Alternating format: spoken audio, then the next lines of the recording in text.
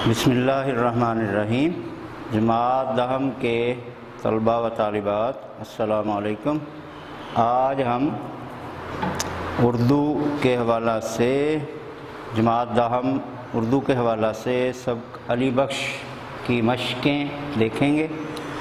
तो पिछले एक दो लेक्चर्स में आपको बुलंद खानी करवाई थी। अब आप अली बख्श के बारे में तफसील से जान चुके होंगे जो कुछ मवाद में बताया गया है। अली बख्श की बहुत सी खसूसियात और उसकी बहुत सी बातें जो इकबाल के बारे में उन्होंने बताई, वो आपके जहन नशीन हो चुकी होंगी। और अगर आपसे 10-15 एम सी क्यूज़ पूछे जाएँ तो यकीनन आप उसके लिए तैयार होंगे। मसलन ये कि मौलवी अब्दुल हक को कौन सा लकब दिया गया? तो आप कहेंगे बाबा उर्दू। इसी तरह सॉरी, ये कुदरतुल्ला शहाब है। कुदरतुल्ला शहाब की मशहूर किताब का नाम क्या है? शहाब नामा। इसी तरह, कुदरतुल्ला शहाब कहाँ के डिप्टी कमिश्नर थे? तो इसका जवाब है ज़िला झंग। इसी तरह मुसनफ़ कुदरतुल्ला शहाब लाहौर किस से मिलने गए? तो ये हैं ख्वाजा अब्दुलरहीम जो कि एक बैरिस्टर थे। इसी तरह ये कि अली बख्श की ज़मीन का कब्ज़ा दिलाने के लिए कुदरतुल्ला शहाब ने किसके ज़िम्मे काम लगाया? तो वो हैं कप्तान महाबत अली ख़ान। इसी तरह जो है वो अली त, अली बख्श ने अलामा इकबाल की कितने साल तक खिदमत की तो वो है जी चालीस साल। इसी तरह अलामा इकबाल की बेटी का नाम क्या था? मुनीरा। ठीक है जी। इसी तरह शेखुपुरा में इकबाल और अली बख्श की दावत किसने की थी? तो वो थे एक मुस्लिम तहसीलदार। यानी उस वक़्त जो है वो गैर मुस्लिम, बहुत से लोग सरकारी अहदों पर फायज थे तो इसलिए बताया गया है कि वो एक मुसलमान तहसीलदार थे शेखुपुरा के, जिन्होंने इकबाल की दावत की। इसी तरह एम सी क्यूज बन सकता है कि इकबाल रात के कितने बजे उठकर बैठ जाते तो वो है जी दो अढ़ाई बजे के करीब या दो अढ़ाई बजे। इसी तरह अलामा इकबाल ने कब वफ़ात पाई तो वो है 21 अप्रैल 1938 इसी तरह हम एक और एम बना सकते हैं कि ये सबक किस किताब से लिया गया है या इस सबक का माखज़ क्या है तो वो है जी शहाब नामा इसी तरह शहाब नामा के बारे में पूछा जा सकता है कि शहाब नामा सिनफ़ तहरीर के अतबार से किस किस्म की किताब है तो वो है जी खुद नविश्त यानी ये शहाब साहब ने अपने बारे में लिखी है। अब हम इसकी मशक़ों का ज़्यादा लेते हैं तो सबसे पहले हैं सवालों के जवाब। अब आप बुलंद खानी के मवाद को जहन में रखते हुए जो कुछ आपने बुलंद खानी में पढ़ा, उसके, उसको मद्देनज़र रखते हुए आप इन सवालों के जवाब बखूबी दे सकते हैं।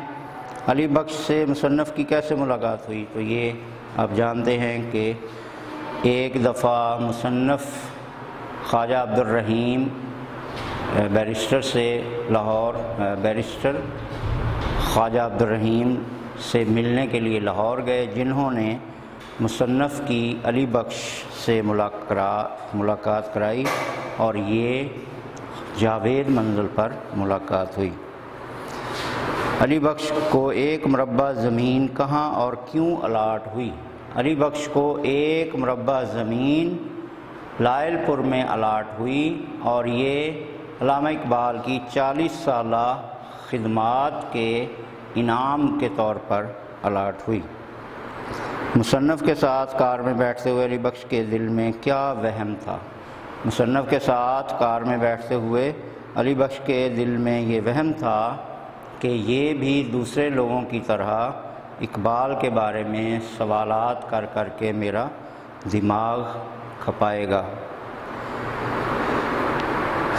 एक सिनेमा के सामने भीड़ देखकर अली बख्श ने क्या किया? एक सिनेमा के घर, एक सिनेमा घर के सामने भीड़ देखकर अली बख्श बेसाख्ता बोल पड़ा। कि मस्जिदों के बाहर तो ऐसा रश नहीं होता, ये इलामा इकबाल साहब कहा करते थे। शेखुपुरा के, शेखुपुरा से गुज़रते हुए अली बख्श का, अली बख्श को क्या याद आया? शेखुपुरा से गुज़रते हुए अली बख्श को याद आया कि कि मैं और इकबाल साहब यहाँ एक मुसलमान तहसीलदार की दावत पर आए थे और उन्होंने हमें सीख, कबाब और पुलाव खिलाए और इकबाल को आम भी पेश किए गए। इसी तरह मश्क नंबर दो में सबक का खुलासा लिखने को कहा गया है तो ये हम अगले लेक्चर में देखेंगे। मश्क नंबर तीन, जिसमें अली बख्श की किरदार की कुछ खूबियाँ जो है वो बयान करने को कहा गया है तो ये आपके सामने मैंने कुछ अपने अल्फाज में ये लिख दिया है। कि अली बख्श की इकबाल से नस्बत उसे अजीम बनाती है। इसके साथ साथ वो बहुत सादा तबीयत का हामिल है, ईमानदार और वफा शार है, खुददार और गैरतमंद है, साबिर और शाकिर है, किफ़ायत शार है और उसका दिल हर किस्म के लालच से पाक है। नीज़ ये कि वो फ़र्शनास और ज़िम्मेदार है।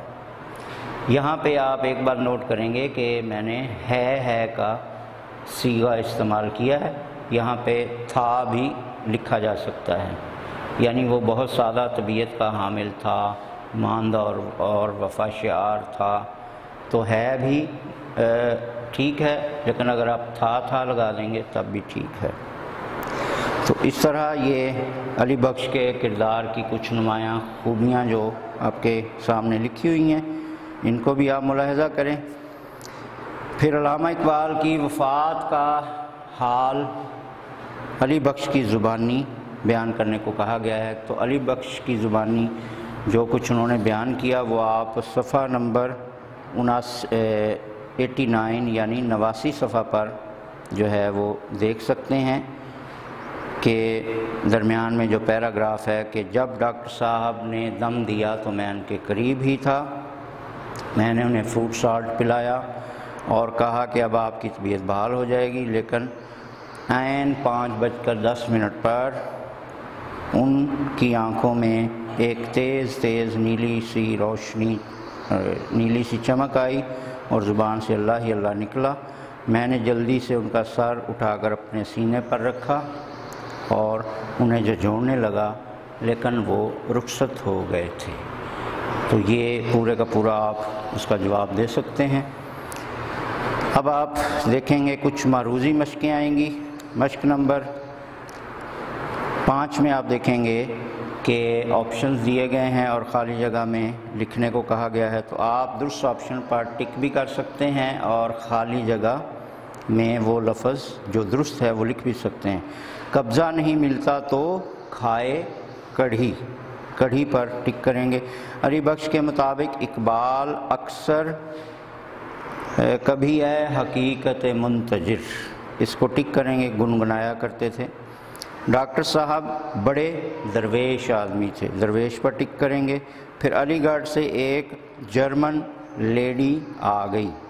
कप्तान महाबत ख़ान अली बख्श को एक नहायत मुकद्दस ताबूत ताबूत की तरह अकीदत से छू कर अपने सीने से लगा लेता है। ताबूत पर टिक करेंगे। अगले सफ़े पर देखेंगे। मश्क नंबर छः ये एम सी क्यूज़ हैं। ये भी आप बखूबी जल्दी जल्दी इनको सॉल्व कर लेंगे। अली बख्श किस किताब से लिया गया है? शहाब नामा मुसन्फ़ काम के सिलसिले में कहाँ गए थे? लाहौर। अली बख्श को ज़मीन कहाँ दी गई थी? लायलपुर। आखिरी उम्र में अलामा मोहम्मद इकबाल का खाना पीना कम हो गया था। गले की ख़राबी की वजह से, क्योंकि बताया गया कि वफात से छः साल कबल उनका गला बैठना शुरू हो गया था, यानी गले का मसला जो है वो शुरू हो गया था।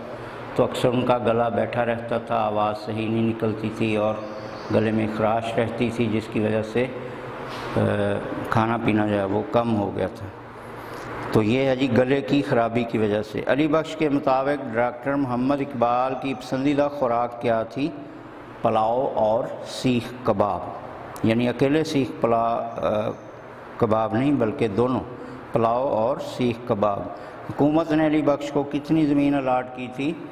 यह है जी एक मुरबा यानी एक मुरबा में पच्चीस एकड़ होते हैं तो वो 25 एकड़ की ज़मीन उसे मिली थी, यानी एक मुरबा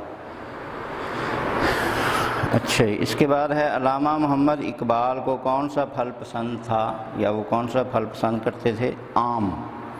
डॉक्टर मोहम्मद इकबाल रात के कितने बजे जाए नमाज़ पर? जा बैठते दो अढ़ाई बजे। दो बजे नहीं, बल्कि दो अढ़ाई बजे। यानी कभी दो बजे, कभी सवा दो बजे, कभी दो अढ़ाई बजे तो इसलिए दो अढ़ाई बजे। डॉक्टर मोहम्मद इकबाल को सोते हुए झटका लगता तो क्या करते थे? अली बख्श से गर्दन के पट्टे दबवाते। ये दुरुस्त ऑप्शन है। इसके बाद आप मश्क नंबर सात देखेंगे। दुरुस्त और गलत की निशानदही करने को कहा गया है। अली बख्श से मुसनफ़ की मुलाकात ख्वाजा अब्दुलरहीम ने कराई। ये दुरुस्त है। बे देखेंगे। बे पॉइंट। शेखुपुरा के वकील अलामा मोहम्मद इकबाल के मुरीद थे। वकील नहीं थे, बल्कि वो मुसलमान तहसीलदार थे। ये गलत है बयान। डॉक्टर मोहम्मद इकबाल घर के अखराज का हिसाब किताब नहीं रखते थे। ये भी गलत है, क्योंकि एक अजीम आदमी जो है वो बग़ैर हिसाब किताब की ज़िंदगी कैसे गुजार सकता है? तो अपने घर का हिसाब किताब रखते थे। ये बयान गलत है कि हिसाब किताब नहीं रखते थे। ये बयान गलत है। डॉक्टर साहब के यहाँ आज़मगढ़ से जर्मन लेडी आ गई। आज़मगढ़ से नहीं आई थी, बल्कि अलीगढ़ से आई थी। तो ये बयान भी गलत है। फ्रूट साल्ट से डॉक्टर साहब की तबीयत बहाल हो गई। बहाल नहीं हुई, बल्कि उसके चंद मिनट बाद ही वो फौत हो गए थे। तो ये गलत है। महाबत खान ने ऐलान किया कि वली बख्श का काम करा के दम लेगा। ये बयान दुरुस्त है। तो अब आप गौर से अगर देखेंगे तो ये पहला और आखिरी पॉइंट जो है वो दुरुस्त है, पहला और आखिरी। बाकी बीच वाले तकरीबन सारे बे से लेकर दा, हे तक सारे जवाब गलत हैं। आगे आप मश्क नंबर आठ देखेंगे, कॉलम मिलाने को कहा गया है। ख्वाजा अब्दुलरहीम को आप लाइन लगाकर मिलाएँगे जावेद मंजिल। जावेद इकबाल को मिलाएँगे मुनीरा से। पान से मिलाएँगे पान को मिलाएँगे हुक्का से। तहसीलदार को मिलाएँगे मुरीद। तहसीलदार मुरीद। महाबत खान महाबत खान को मिलाएँगे कब्ज़ा और अढ़ाई बजे को मिलाएँगे जाय नमाज़। दोबारा से देख लें, ख्वाजा अब्दुलरहीम जावेद मंजिल, जावेद इकबाल मुनीरा, पान हुक्का, तहसीलदार मुरीद, महाबत खान कब्ज़ा और अढ़ाई बजे जाय नमाज़। इसके बाद मश्क नंबर नौ है, ये भी हम अगले लेक्चर में करेंगे। और आखिरी जो अल्फाज और मुतरदफ़ हैं, ये आपके सामने मैंने यहाँ पे लिख लिए हैं। तो आप देखेंगे शरीर, शरारती, आमादा, तैयार, भीड़, हजूम, सादगी, आजजी, फारग, बेकार, मुकद्दस, पाकिज़ा और खुशगवार अच्छा। यहाँ पे आप आमादा का तैयार भी हो सकता है और एक मुस्तैद लफ्ज़ है, वो भी हो सकता है, लेकिन तैयार भी ठीक है। और मुतरदफ़ उन अल्फाज को कहते हैं, यानी इसका और इसका मीनिंग एक ही होता है। मुतरदफ़ अल्फाज जिनके मानी सेम होते हैं, ऐसे अल्फाज को हम मुतरदफ़ अल्फाज कहते हैं। तो इनके उलट नहीं लिखने, बल्कि इनके मुतरदफ़ यानी सेम मीनिंग वाले अल्फाज लिखने थे तो वो आपके सामने लिखे हुए हैं। अब अगले लेक्चर में जो है, वो हम सबक का ख़ुलासा और एक मश्क जो है इकतबास की तशरी ये हम अगले लेक्चर में करेंगे। तो इन मशक़ों को जो मैंने आपको कराई हैं, किताब पर अच्छे तरीके से हल कर लें। अगर कोई मिस हो गई है मश्क तो दोबारा लेक्चर देख लें और उसको हल करें। सवालों के जवाब जैसा कि कहा जाता है, आप नोट्स के तौर पे अपने रजिस्टर या कागज़ात में आप लिखें। तो अगले लेक्चर में ख़ुलासा और इकतबास की तशरी होगी। तब तक के लिए अल्लाह हाफिज़।